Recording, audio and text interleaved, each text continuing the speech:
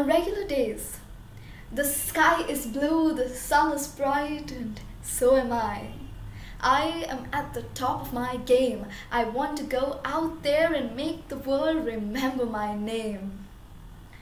But on irregular days, the sky is still blue, but so am I.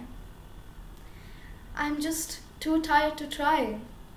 I take a keen interest in my floor, and this is when something else tries to take control. Oh, the voice in my head, dear voice in my head, how do you get so loud sometimes?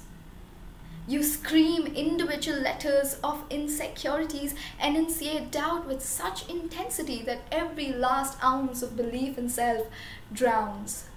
I hate how you've plastered my face with upside down frowns. I hate how you've taken a very comfortable seat at the back of my mind, munching on leftovers of my confidence, whatever you find. You're probably sipping Coke while you watch me go berserk. But I am tired of entertaining you. Every time I aim high, I can hear you saying, Why? Why? Why do you even try to fly? You probably don't even have wings, just a bunch of bones trying to do some things.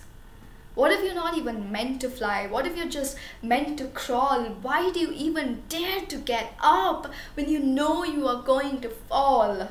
Again again and again. Is it possible, really, that for you to fight back all the time with doubt etched on your skin, with questions always lingering in the air, with weightless words heaving on your shoulders for nothing, with wild expectations drawing upturned frowns on your face? Everything, everything seems to be testing you.